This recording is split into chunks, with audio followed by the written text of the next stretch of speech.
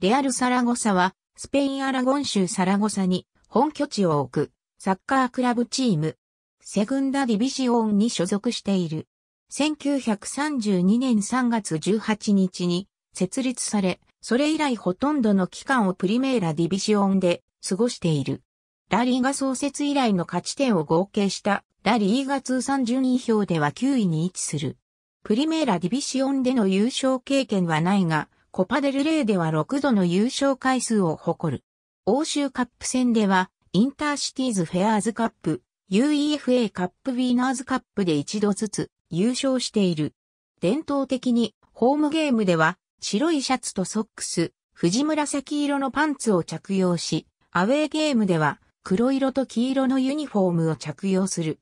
ホームスタジアムはエスタディオデラ・ロマレーダであり、34,596人を収容する。サラゴサ市にはイベリア SC とレアル・サラゴサ CD という二つのクラブが存在していた。激しいライバル関係にあった両クラブは1932年に財政難に陥り、マリア様の奇跡と呼ばれる合併をして、新しいチーム、サラゴサが設立された。リーガ・エスパニョーラに参戦していたが、スペイン内戦によって発展を妨げられた。1951年にチーム名をレアル・サラゴサに変更した。1957年9月8日、最初のスタジアムであるトーレロを離れ、現在のスタジアムであるエスタディオ・デラ・ロマレーダに移った。1960から61シーズンを始まりとして、レアル・サラゴサは黄金時代に足を踏み入れた。当時のスペインで最も優秀な選手たちの数々がプレーし、ロス・マグニフィコスと呼ばれる彼らはいくつものタイトルを獲得した。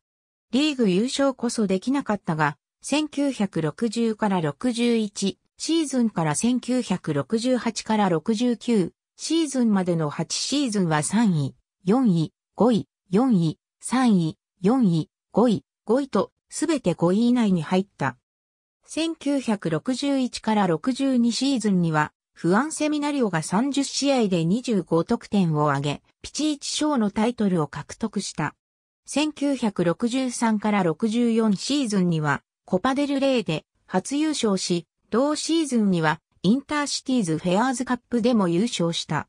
攻撃陣には、カナリオ、エレウテリオ、サントス、マルセリーノ・マルティネス、フアン・マヌエル・ビジャ、カルロス・ラ・ペドラなどがおり、守備陣には、セベリーノ・レイハや、ホセルイス・ビオレタなどの名選手がいた。コパデルレイでは1962から63シーズンから4シーズン連続で決勝に進出し、1965から66シーズンには2度目の優勝を飾ったが、次のタイトルは1980年代半ばまで持ち越された。1970年代からの30年間は浮き沈みの激しい時期であった。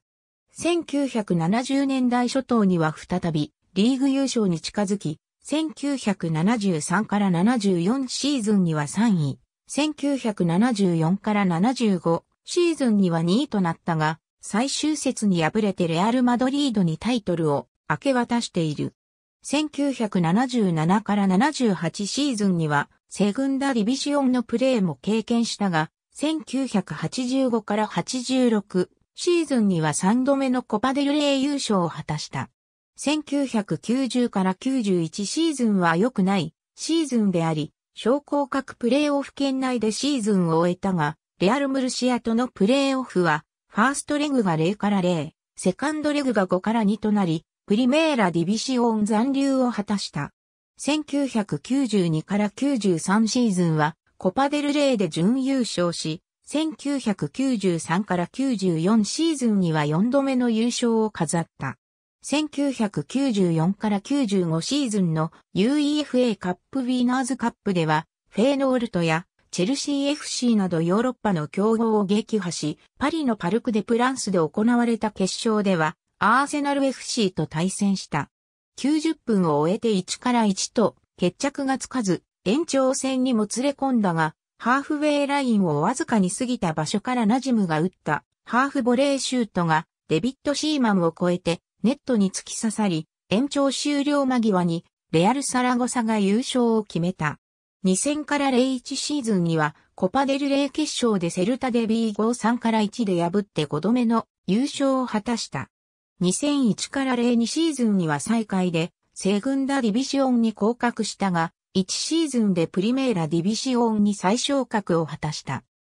2006年5月後半、アガピト・イグレシアスは、アルフォンソ・ソランから会長の座を受け継ぎ、スペインやヨーロッパで最も強いチームの一つを作り上げることを約束した。2006年夏には、中盤の補強として移籍金1100万ユーロで、パブロ・アイマールを獲得した。2006から07シーズンは攻撃サッカーの信奉者であるビクトル・フェルナンデス監督のもと、アイマール、アンドレス・ダレッサンドロ、アルベルト・サパテル、エベルトンなどの攻撃陣が、アウェーゲームでも攻撃的なサッカーを展開し、ディエゴ・ミリートは、ヨーロッパゴールデンシュー3位となる23得点を挙げた。6位という成績で UEFA カップ出場権を獲得した。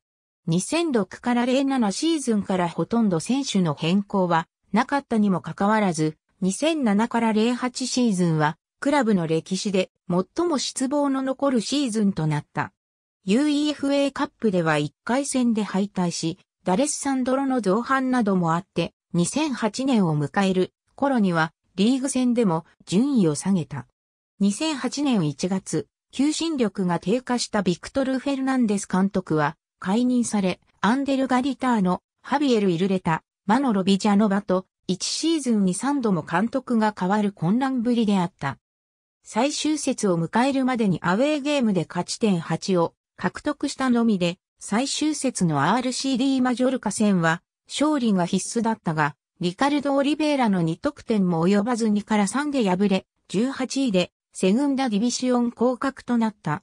2008年夏には、地匠マルセリーノ監督を招聘し、チーム編成などに大きな権限を与えたが、アイマール、ペテル・リュクサン、マツザレム、セルフィオ・ガルシア、ディー・ミリート、セサル・サンチェスなど攻守に多くの選手がチームを去った。2008から09シーズン開幕から数試合は成績が芳しくなかったが、尻上がりに調子を上げ、後半戦には16戦無敗という記録を作った。ラーヨ・バジェカーノとの最終節を残し、1シーズンでのプリメーラディビシオン復帰を果たした。2011から12シーズンは開幕から不調が続き、シーズンの半分近くを最下位で過ごした。一時は降格候補筆頭と見られていたが、残り12試合で8勝1分3敗、勝ち点25を積み上げ、最終的には勝ち点43の16位として残留を果たした。2011年6月8日、倒産法に基づく法的整理を申請した。2012年6月、アガピトは会長を退任。さらに2012から13シーズンは、プリメーラ最下位に終わり、セグンダに降格。以降は、カブリーグでの戦いを強いられている。2019年8月、日本代表、香川真司を獲得したことが話題となった。レアル・サラゴサがダービーマッチとみなしているのは CA オサスナとの対戦である。それぞれ隣り合うアラゴン州とナバーラ州で最も規模の大きなサッカークラブであり、CA オサスナの本拠地であるパンプローナとサラゴサは 145km の距離にあり、両者の対戦の際には多くのサポーターがアウェースタジアムに駆けつける。SD ウエスカとの対戦は、アラゴンダービーと呼ばれる。仲の良いダービーマッチであるのか、思想が激しくぶつかり合うダービーマッチであるのかは、意見が分かれるところであり、最もな理由で判断が分かれている。両者が同じデビジョンに所属したのはわずかにシーズンしかないし、試合の外では良好なビジネス関係を築き、過去に多くの選手が両クラブの間で移籍しているからである。レアル・サラゴサは CD ヌマンシアとも良好な関係を築いている。エスタディオ・デラ・ロマレーダ1961から62シーズンフアンセミナリオ24得点2021年2月1日、現在、括弧内の国旗は、その他保有国籍、もしくは市民権、星印は EU 県外選手を示す。監督インアウト詳細は、カテゴリー、レアル・サラゴサの選手を参照1932年の合併時、エンブレムは赤い盾の中にサラゴサ市の紋章であるレオン王国の刺繍がある図案を採用した。1951年、チーム名にレアルが加わったことに伴い、縦の上に王冠のデザインが追加され、何度かのマイナーチェンジはあるが、基本的にこのエンブレムが使われている。2007年にチーム創立75周年を記念して、獅子の絵柄が変更されたがソシオには不評だった。そこで2011年6月からソシオ加入者への人気投票を開始した。9月の締め切り時、総ソシオ23,309人中7,739人が投票し、6,961人が以前のデザインを支持した。そのため暫定的に元のエンブレムに戻すことになったが、シーズン中だったためユニフォームは変更できなかった。ただし投票したソシオ数が少なかったため、2012から13シーズン開幕前まで再投票が行われることになったが、ここでも旧エンブレムの支持が高い。ありがとうございます。